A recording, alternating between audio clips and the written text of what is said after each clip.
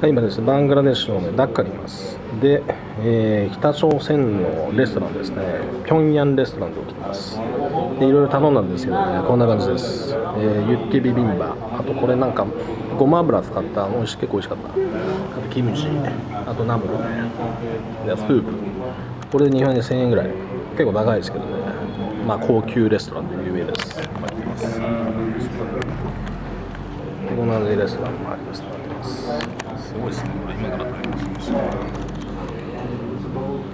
げえな、これ。